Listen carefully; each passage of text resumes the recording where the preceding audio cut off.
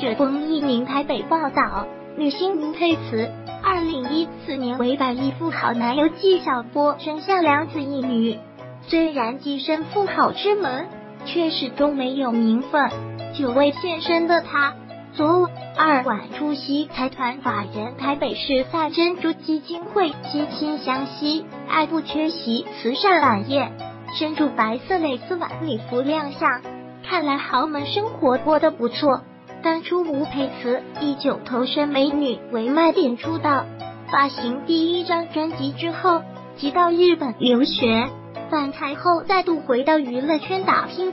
吴佩慈很早就决定要进豪门，当初为了进季家门，除了肚子要争气，还在社交平台上不断塑造自己是季家媳妇的身份，不断晒全家出游照。除此之外，吴佩慈也极力讨好纪晓波的妈妈，最甜是基本功，纪家开酒店。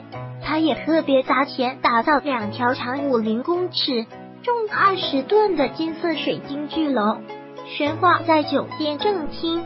吴佩慈昨日以慈善大使身份参与活动，希望能为扶助弱势新移民子女尽一份心力。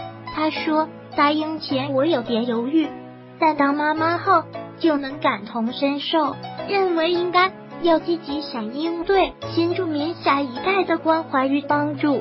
昨晚同台出席的名人还有蔡依珊、李晶晶、高怡婷、陈满若等人。因为今年是冯赛珍珠基金会慈善晚宴第五届举办，同时也是台湾赛珍珠基金会成立五十周年，因此格外星光熠熠。吴佩慈希望能为其他弱势孩童尽一份心力。赛珍珠基金会提供，赛珍珠基金会荣誉志工蔡依珊，在珍珠基金会提供李晶晶，赛珍珠基金会提供。